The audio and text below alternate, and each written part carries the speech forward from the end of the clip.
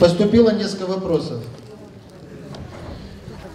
Ой, слово мне очень нравится. Наш поселок увеличился на по числу жителей несколько раз. Устраиваются, застраиваются поля фильтрации, а зон отдыха в районе Некрасовка нет. Я обращаюсь к вам с просьбой облагородить Бельвинское озеро под зону отдыха.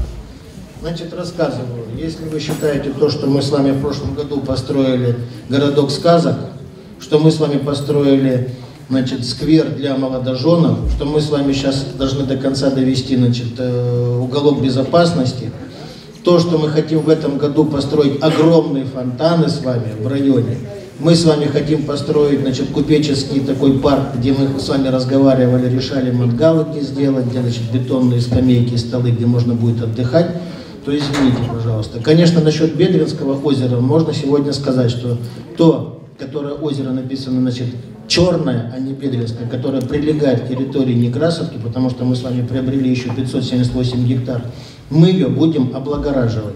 На сегодня мы с генпланом решаем, чтобы внесли в программу. Там получается с трех сторон это наша территория московская, и крайняя с правой стороны, значит, это будет принадлежать люберцам. Поэтому можно представить, как мы с вами будем чистить, и как потом будет с правой стороны гадить, потому что это по-другому у них не бывает. Это так, к слову. Но в любом случае это озеро будет очищено, которое черное вот у нас здесь с вами за Горьковцем, за теплицами, да? Вот. И, естественно, там будет зона отдыха. Кроме этого, нам еще отдают зону отдыха Пехорка, которая идет вдоль туда к железнодорожному. Это вся территория, прилегающая к Некрасовке, получается левая сторона наша, правая часть не наша, потом вверху тоже наша. Поэтому там все будет облагорожено, это будет парковая зона.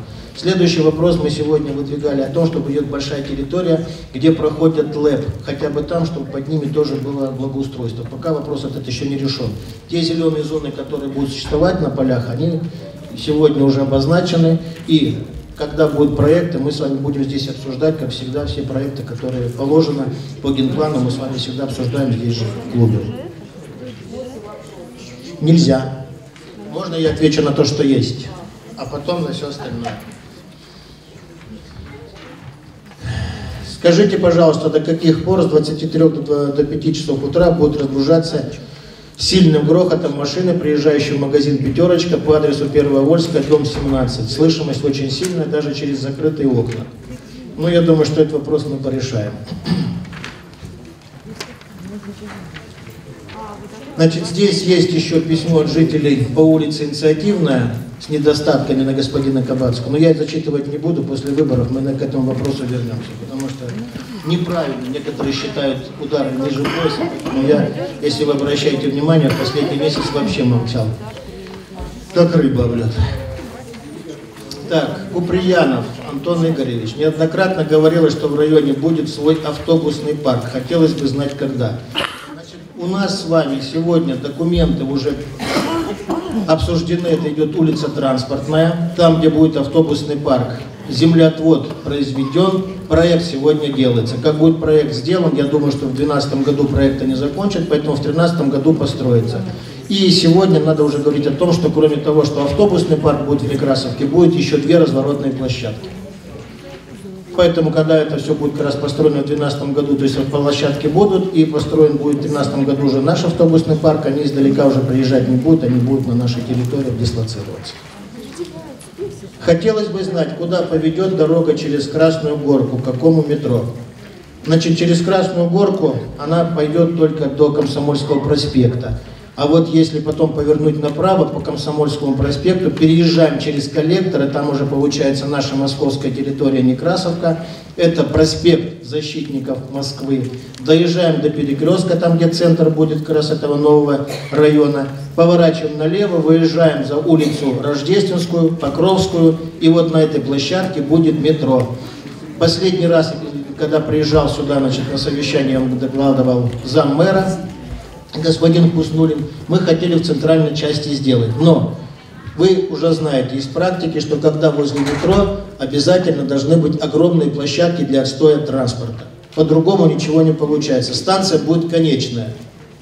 В железнодорожную она не пойдет, в Люберцы она не пойдет, поэтому она здесь остановится. В связи с этим те площадки, которые будут на одну станцию раньше, в Кожухово, Там будут площадки, недостаточно. Почему я обратился, чтобы мне промзону Руднева все отдали в Некрасовку. У нас там будет с вами строиться гаражи для наших жителей, у нас там будет стоять метро, и, естественно, вот эти все разворотные площадки, чтобы все это принадлежало Некрасовке, то есть ниже дороги Москва-Ногинск, чтобы это все было наше. Вот там будет метро.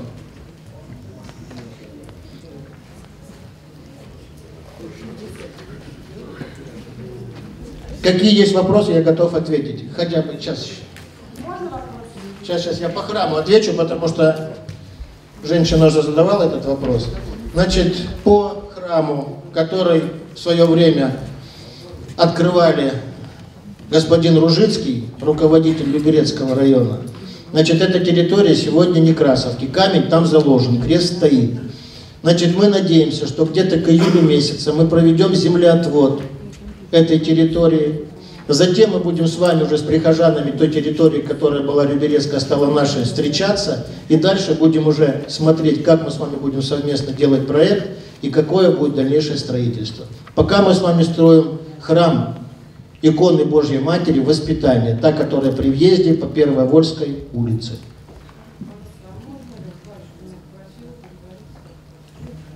Я вашего батюшку уже ищу через своего батюшку Алексея. Поэтому приходите, ради Бога, во вторник, 6 числа, и будем с вами разговаривать. В 10 часов. Пожалуйста. Да, можно еще два слова буквально скажу. В субботу был Владимир Иосифович Ресин.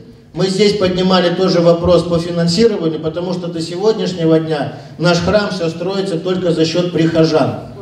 И то, что мы с вами уже цоколь вывели, а дальше сейчас пойдут большие затраты. Там у нас, значит, то, что должно еще строиться в этом году. По программе он должен быть построен в 2012 году. Поэтому сейчас вопросы решаются. Владимир Иосифович пообещал, что все-таки с деньгами вопрос будет решен. Строительная организация и проектная, которая у нас эти все организации есть.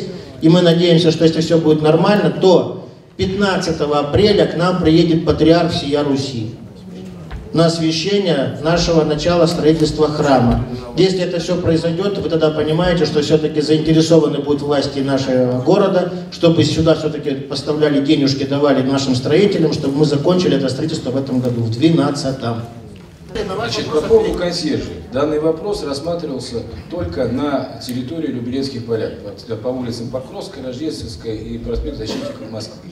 Значит, условия, которые выставлены непосредственно законом, там закон гласит, что для этого нужно, чтобы там было население, которое у нас на сегодняшний день там нет. И хотя бы 50% собственников должны высказать свое мнение, нужны там консьержи или нет. Второе обязательное условие – это отсутствие видеонаблюдения. На сегодня видеонаблюдения там нет, оно еще не смонтировалось, но также и нету жителей которые еще не выявили свое желание по поводу того, присутствия консьержа в данных домах. Вот когда все эти составляющие будут присутствовать, тогда будет рассмотрен вопрос о вашем трудоустройстве, как консьерж.